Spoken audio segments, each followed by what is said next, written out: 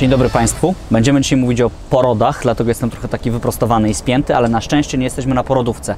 Położna roku, pani Dorota Mecha. Zgadza się?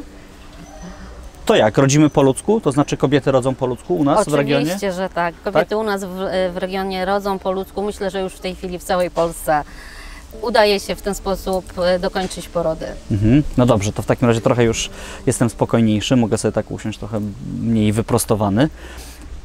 Jak to się stało, że pani zaczęła tę pracę? Co panią skłoniło do bycia położną?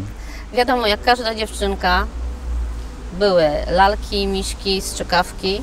Natomiast tak naprawdę e, zawsze myślałam o pomocy, o tym, żeby w jakiś sposób e, pomagać ludziom, nie tylko kobietom, e, może leczyć. Dlatego też po skończeniu liceum rozpoczęłam. Tutaj w e, Cieszynie? To liceum? nie, nie? w Jastrzębiu. Mhm.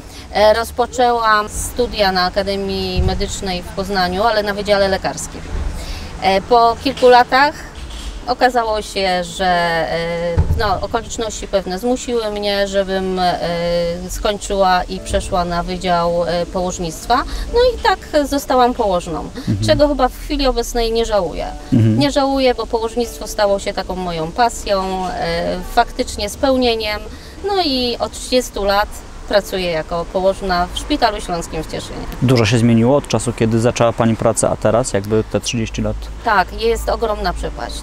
E, Kiedyś kobieta była pozostawiona sobie samej. Rodziła w cierpieniu, często w bólu, e, niestety w pozycji leżącej. W chwili obecnej jest możliwość obecności męża, przyjaciela, ojca dziecka, czy nawet kogoś z rodziny, kogoś, kogo ona uzna za stosowne. To jest jedna sprawa. Druga sprawa, e, ojcowie kiedyś dowiadywali się często na drugi dzień dopiero, że zostałem tatą. W tej chwili ma taką możliwość. E, Następnie e, kiedyś dzieci były odbierane od razu mamą, szły na oddział noworodkowy. W chwili obecnej dziecko po porodzie zostaje razem z mamą, jest na jej I to jest dobry pomysł. Jest Mhm. super, rewelacja. Także na pewno pod tym względem zmieniło się bardzo dużo. Poza tym e, warunki. My mamy warunki naprawdę komfortowe. Jest e, kobieta ma zapewnioną intymność, jest na osobnej sali, nikt jej obcy nie wchodzi. Kiedyś była to jedna faktycznie wielka sala, 6-7 łóżek porodowych, często nieosłonięte parawanami. No i niestety no, było to było bardzo mowy. niekomfortowe dla kobiety. Teraz jest zupełnie Także inaczej. teraz naprawdę rodzimy po ludzku. Wspomniała Pani o mężczyznach, którzy towarzyszą kobietom Tak. w trakcie porodu. Jak reagują? Czy to jest przesadzone, że oni tam po prostu mdleją? Myślę, że przesadzone trochę, czy nie? Myślę, że tak, Tak? że często jest przesadzone, ale zdarzają się takie sytuacje, że nagle komuś zrobi się słabo.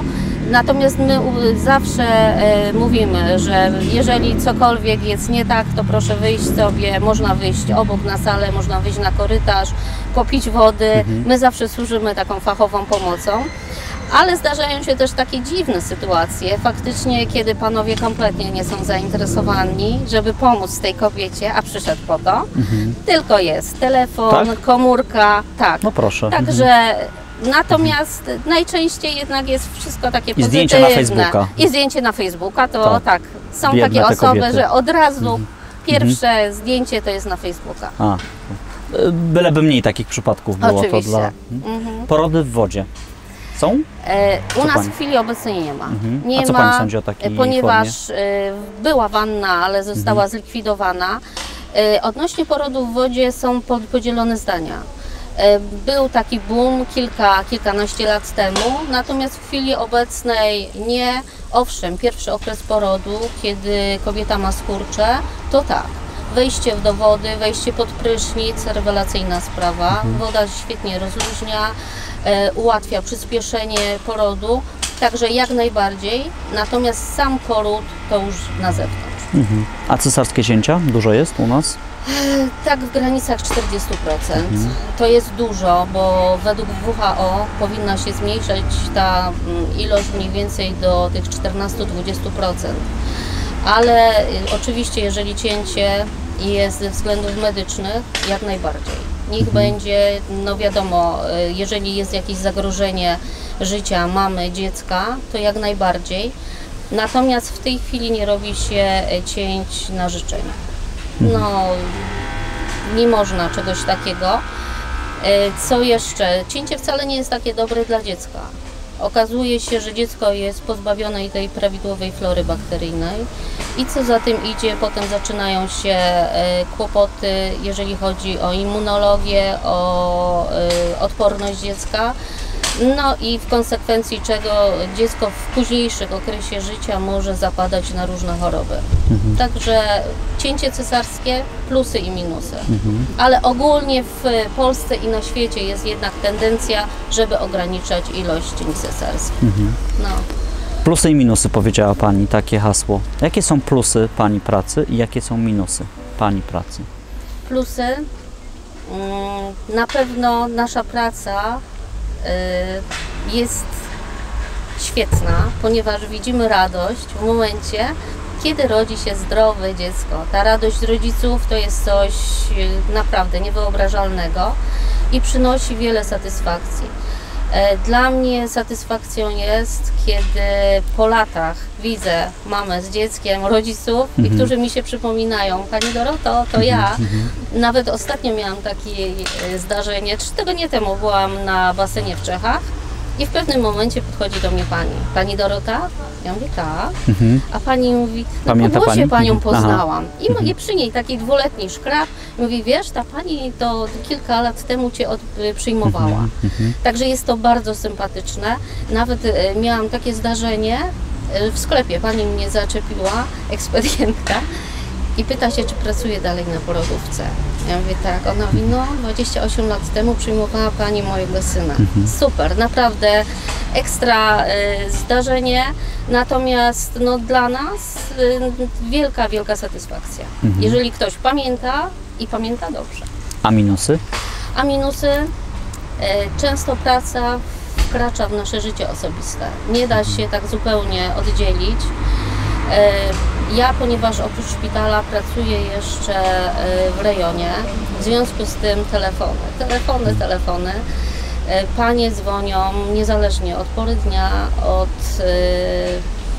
czyli jest to święto, niedziela, sobota, czasami w nocy, także jest to męczące. Natomiast no, daję sobie z tym doskonale radę. Na pewno minusem jest, kiedy jest niepowodzenie. Niepowodzenie, Tak, takie rodzi trudne, się, smutne sytuacje, tak? tak? Jakaś taka traumatyczna sytuacja, rodzi dziecko się rodzi się chore nie- dziecko, Mhm. albo dziecko rodzi się martwe, bo też się zdarza. I y, ma to wpływ na naszą psychikę. To nie jest tak, że wychodzę z pracy i zapominam. Nie, nie, Mhm. jednak gdzieś, gdzieś to zostaje. Natomiast y, myślę, że tego typu sytuacje trzeba odreagować, zapomnieć, zresetować się. Jak Pani odpoczywa? Jak Pani Ja? odreagowuje? E, uwielbiam operę. I tak e, kilka razy w roku razem z córką i z mężem jesteśmy w Operze Śląskiej w Katowicy, w Bytomiu i Opera Krakowska. I jeżeli mam tak dodać to e, i zachęcić, ostatnio w Operze Śląskiej e, na deskach jest Romeo i Julia. Świetnie zagrany spektakl, ekstra choreografia. Występuje e, Andrzej Lampert Mhm. i Ewa Majcherczyk. E, W Krakowie natomiast e, Don Pasquale. I co ciekawe, no ja już tak weszłam w temat, Mhm, tak. Z porodówki zaraz no jesteśmy właśnie, prosto. jesteśmy tak. w operze. Ale jeżeli chodzi o Don, Don Pasquale, e, Jerzy Sztur e, reżyserował. On e, podobno nie, nie reżyseruje oper, natomiast tutaj Zrobił wyjątek. zrobił wyjątek, jest rewelacyjny. No i oczywiście znowu tenor Andrzej Lambert. A tak a propos, Mhm. w grudniu będzie u nas e, na deskach naszego teatru Cieszynie, tak? Cieszyńskiego Trawiata. Proszę, jeżeli Państwo chcą zobaczyć, co w Tak. repertuarze operowym, to można, Można tak, zadzwonić na porodówkę tak, i tak. e, wszystko będą Państwo wiedzieli. To ja zapytam jeszcze o depresję poporodową. Tak, chcę się przenieść na chwilę ze sceny. Rozumiem. Mm, E, Depresja zdarza się. mhm. Zdarza się, y, musimy pamiętać o tym, że kobieta po porodzie to jest kobieta na początku euforia, adrenalina, jest wszystko świetnie, z czasem te uczucia opadają i pojawiają się problemy. Jeżeli kobieta ma wsparcie ze strony męża, partnera, rodziny, ona poradzi sobie z tym. Natomiast jest gro kobiet, które nie mają takiego wsparcia. Często jest ta presja, musisz być idealną matką. Wiadomo, nocne karmienia co 2-3 godziny. Tu e, te emocje nam opadają i nagle pojawiają się wielkie problemy.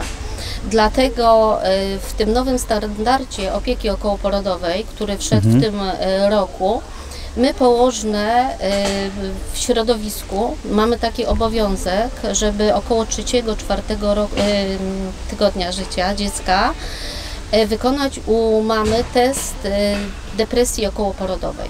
Wykonujemy ten test według skali edynburskiej i wówczas y, możemy zauważyć jakieś niepokojące zjawiska.